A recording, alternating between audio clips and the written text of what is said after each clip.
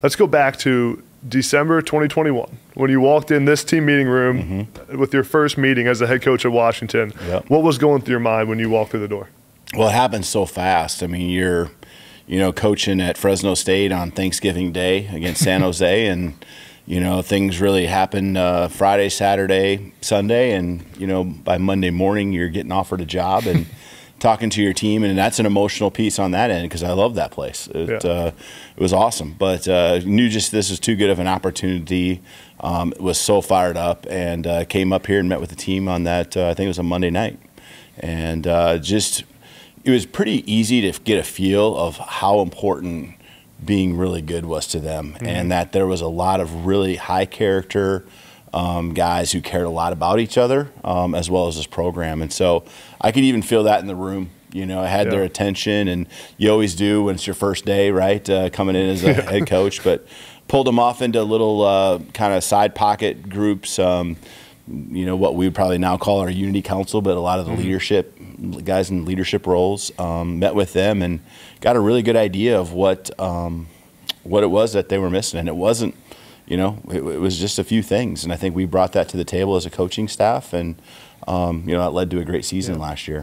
What made you believe there, there, were a lot of jobs open at that time, mm-hmm. and on the West Coast, uh, it, you had had success at, at, a bunch of other stops. What made you believe that this was the right job to take and the right time to take it?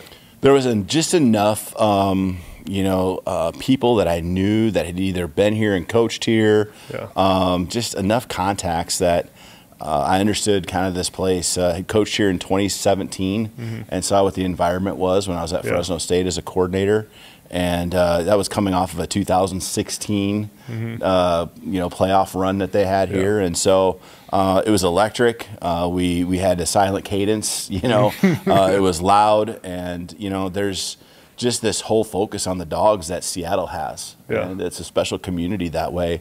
Um, we do have an NFL team that does, a, you know, is awesome. Um, Major League Baseball team, and you know now hockey's mm-hmm. doing well as well. But um, man, the dogs is what yeah. this place is all about. And so um, the focus there, and then I thought the bones of the program, just uh, with yeah. you know, uh, ch- national championships and many mm-hmm. conference championships, Rose Bowl appearances.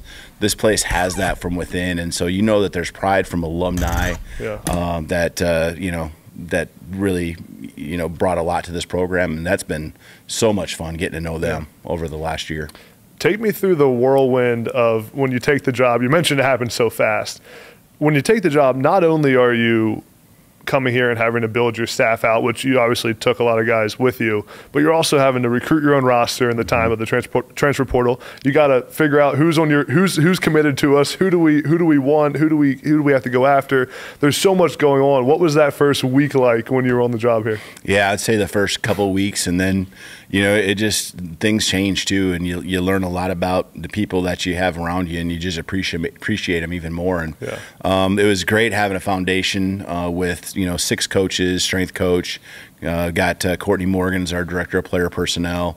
Um, getting a lot of those pieces in place. Uh, there was some out, you know, a lot of positions still had to figure out, but um, you know, just recruiting the roster part. You brought that up looking back on it, it's just it was every it was hour by hour sometimes. you know, it's just that's just how it was because uh, they and, and you understand why they don't yeah. know who you are, mm-hmm. um, and these are important decisions. And this is a quarter school, and so mm-hmm. these guys got to figure out by January third yeah. where they're going to school. So you know that Christmas break. Uh, you know, there was a lot of phone calls, a lot of uh, even you know one-on-one conversations before you know mm-hmm. they left for Christmas break. But uh, we got through it, and uh, you know, for the most part, retained you know our roster. Yeah. And again, that's a tribute to these guys and uh, how they felt about each other and the belief that they had and uh, wanting to accomplish it, accomplish it. And then I, I, give them and our staff credit for you know meeting each other in the middle yeah. and uh, trusting what was said.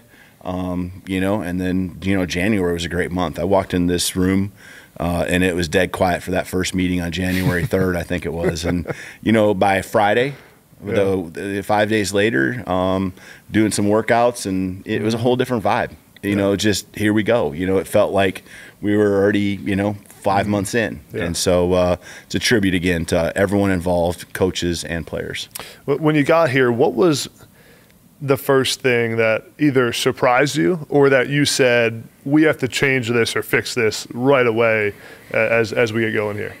Um, just that the guys never flinched. Yeah. I mean, we asked them to do something and they did it and then some. Um, yeah. That was really, there was not a really a lot of major things uh, uh, that we had to fix. Just, you know, um, different schemes, offense, defense, special teams. Um, and they knew that that was going to happen, but they never flinched. And we were asking them to do a lot when it came to the training. Mm-hmm. And, uh, you know, they've seen their bodies change and looking back on it, you know, I know they're really happy that they just went all in. Yeah. Um, but that's certainly a time, right, when you're you're doing different workouts and you mm-hmm. know, kind of you could ask questions, but um, they never flinched. Yeah. You mentioned a little bit of uh, we talked about why you took this job. The other part of it too is the commitment that you need from the administration mm. to build a program in today's college football with all the resources and the arms race and everything that goes into it. Tell me about those conversations with the administration of saying, are, are we committed to winning at the highest level? And uh, does the commitment that the administration and, and everything that goes into it match the expectation that they have for, for you? Yeah, there's no question. Um, you know, our, our president, uh, President Cauce, when I met with her, um, she expressed that. You yeah. know, and I could tell that what she uh, was saying, uh, she meant, and um, she was uh, excited, anxious, whatever, to get get football back going again. Um, you know, and that was really during my interview, but that's continued on throughout. Mm-hmm. You know, my contact with her and my support uh, that I get from uh, President Cauce is is great, and then. Um, you know, Jen Jen uh, Cohen, um, just I mean, she is as aggressive as they get. You know, and this mm-hmm. is a place she's been passionate about and worked at, uh, you yeah. know, for a long time. Uh, and you know, this is home for her. You know, mm-hmm. and so I mean, when you really look at it, and um, man, she just keeps providing the resources and you know, we'll go out there and, and help find what we need um, if there is anything that comes up. And um, very solution oriented yeah. and understands that uh, you know um, that as long as we have a plan and I can show her the why, why yeah, you know, yeah. um, she'll do everything she can to make it happen.